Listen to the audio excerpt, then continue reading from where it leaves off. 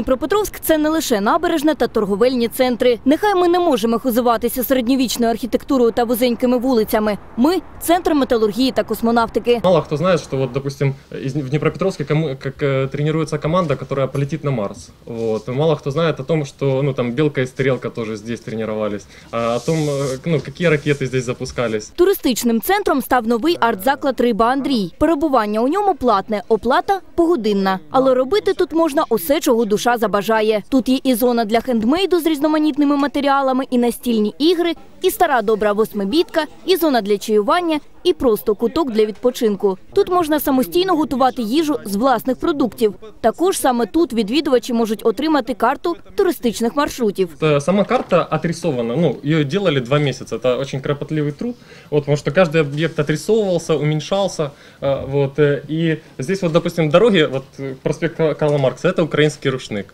Вот, э, деревья тоже в этностиле нарисованы, вот, э, отмечены главные достопримечательности. На обороте у нас расположена информация о самом Днепропетровске, что именно в Днепропетровске, потому что вот, э, ну, нужно знать, что вот у нас самая там длинная набережная, что у нас самый длинный дом там на Жилмасева Победа, что у нас фонтан Лебедь есть, самая длинная лавка 50 метров, Мерефа-Херсонский мост, вот, который наибольший в Европе арочный мост, вот, ну и другие информации. Та окрім цього, туристам, які завітають до центру, пропонують відвідати металургійний завод, музей космонавтики, страусину фабрику, типографію, кінний завод, винний, молочну фабрику та закритий мартеновський цех. Там э, огромнейшее помещение, вот, и там как бы можно посмотреть на промышленность прошлого века, вот, и э, там мы хотим сделать, ну, там тоже что-то интересное из арт-событий, На всех из них есть что посмотреть. Например, на НТЗ, вы знаете, железнодорожные колеса производятся. Это единственное в Украине такое производство. Оно большое, красивое, зрелищное такое. Вот э,